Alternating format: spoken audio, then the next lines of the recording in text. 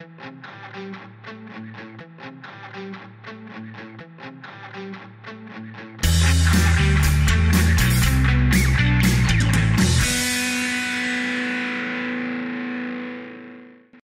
and welcome to FinTech Focus TV with me, Toby Babb, and today I'm delighted to be joined by Christophe de la Celle from HedgeGuard. How are you? Very well, thank you. Excellent. So look, I've heard a lot about HedgeGuard over the years, um, and you guys are doing some great stuff. Tell us a little bit more about your background, what the company's doing, how you're helping the, uh, the asset management space. Sure. So I run the UK business and business development teams for HedgeGuard. Mm-hmm. We're a fintech company that works with asset managers, hedge funds, and family offices on various portfolio management and uh, operational solutions. So we were founded in 2006, Mm-hmm. so we've been around uh, for over a decade now, Yeah. with offices in Paris, uh, London, and uh, in the Middle East in Beirut.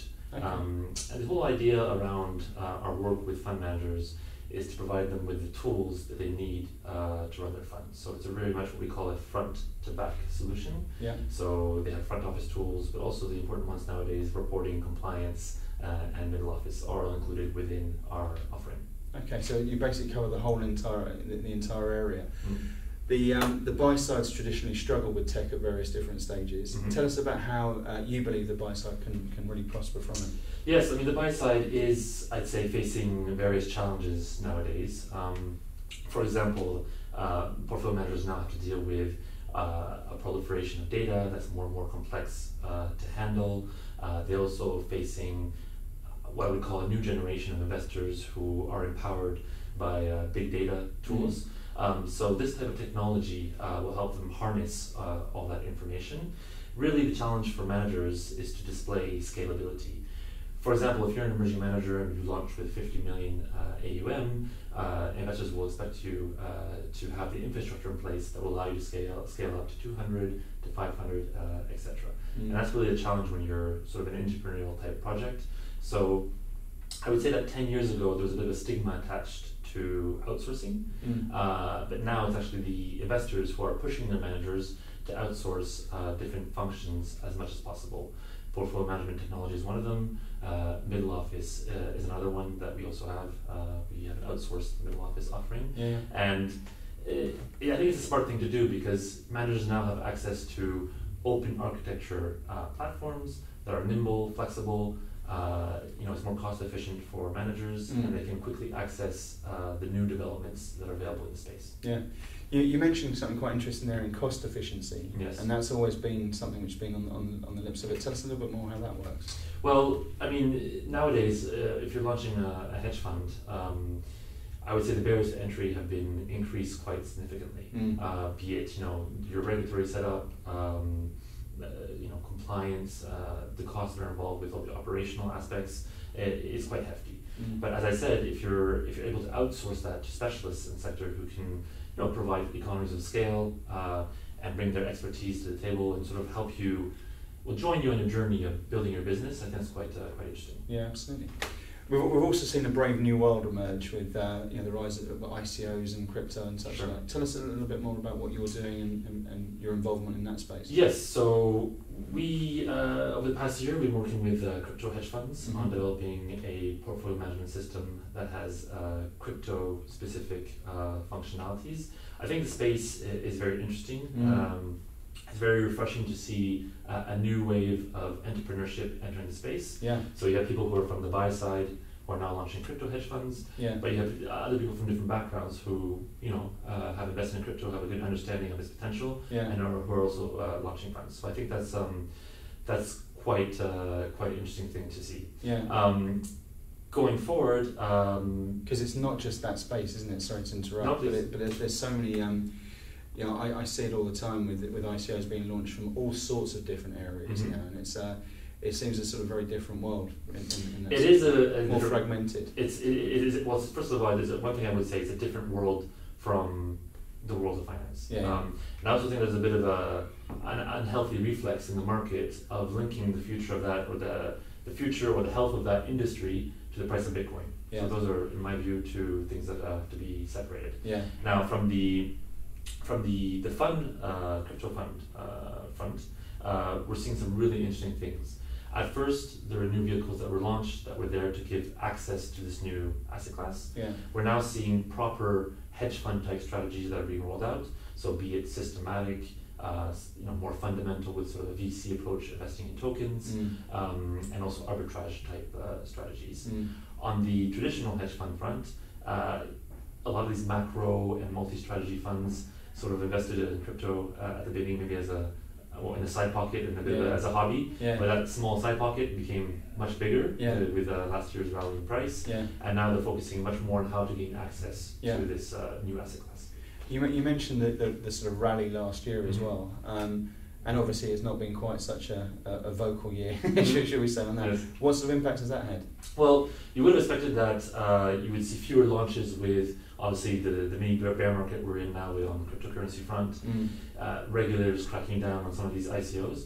But if anything, uh, we haven't seen a slowdown in uh, the number of new fund launches. Yeah. Um, but you have to th- put things into context a little bit because last year we had 130 launches. Mm. Uh, this year we're expecting somewhere around 150. So you'll have by the end of the year you'll have around 300 crypto funds that will be out there. yeah, yeah.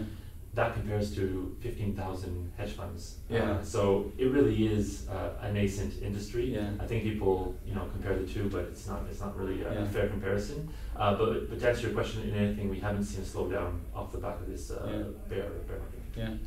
And in terms of uh, the sort of next phase of in, the institutionalization, institutionalization of uh, crypto funds, tell us a little bit more about your thoughts around that. Well, it's quite interesting. I think uh, for starters, we're seeing uh, a more institutional approach uh, to the market as a whole. Yeah. So you may have seen that some, you know, prom- pretty prominent investment banks are now launching cryptocurrency-focused uh, desks, Mm. which I think will help to raise the liquidity profile of the asset class. So Yeah. positive.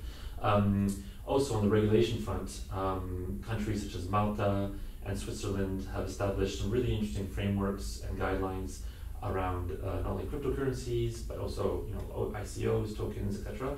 So that's also, you know, moving towards a more institutional type, um, I guess, foundation uh, Yeah. to build on. Um, but the really challenge, the real challenge for uh, crypto hedge funds at the moment is on the investor side. Mm. There are a lot of uh, institutional, institutional investors who I think are interested to, to enter the space, Yeah. but they're struggling struggling to find the the proper infrastructure or an infrastructure amongst these crypto hedge funds that reassures them. Yeah. So security, um, transparency, and the scalability that I was mentioning earlier. I think Mm. those are the big challenges for, Mm. for crypto hedge funds. yeah. The good news is that you have a lot of um, uh, firms that have you know some proper buy side experience who are entering the space and offering uh, new institutional grade types of solutions. Yeah. So it's the case with HedgeGuard on the portfolio management side, Yeah. um, but custody uh, was also a big challenge, uh, and you're now seeing you know interesting firms rolling out uh, institutional grade offerings to address those issues. Yeah, I think it's a really interesting sort of phase that it's going through because because you, you, you say it yourself there it's that confidence piece which has been so important to actually Mhm. bring it to the uh, to the main stage and it's great that you guys and, and various others are able to sort of uh, help provide the solutions to that. No, it's a great thing, and uh, when you look at the, the asset class itself, um, you know, crypto hedge funds have a, an edge in the sense that they're they're trading around um, crypto assets that have, let's say, 100% annualized volatility, Yeah, uh, and that compares to maybe 15% annualized volatility on, on an equity indices. yeah, So, if you can capture the, the right moves, uh, the returns there are, are quite sizable. Obviously, there's a flip side to that, uh, and the big one is storage risks. Um, so, as I mentioned, you know, there are some custody or institutional level custody solutions that are that are being rolled out. yeah, I think what will be also interesting is to observe the evolution of the asset class itself. yeah, So we started off with utility tokens. We're now moving towards security token offerings, yeah, uh, which you know have the characteristics of uh, securities. Will inject more liquidity uh, into different types of institutional and alternative investment offerings. So it's a really interesting evolution that we're uh, Yeah. we're witnessing. yeah. And what's next for you guys? Well, we're working quite closely with uh, crypto hedge funds uh, at the moment. So as I said earlier, it's a very entrepreneurial type uh, environment, which is Yeah. uh, which is quite exciting. Yeah, Um, really, our aim is to respond uh, to you know manager requirements, be it on the traditional hedge fund side, yeah, asset management side, or, or crypto hedge fund side. yeah, Um, but I think with technology and the different projects that we're working on, the idea is to really help lower the barrier to entry for talented uh, investment managers. yeah.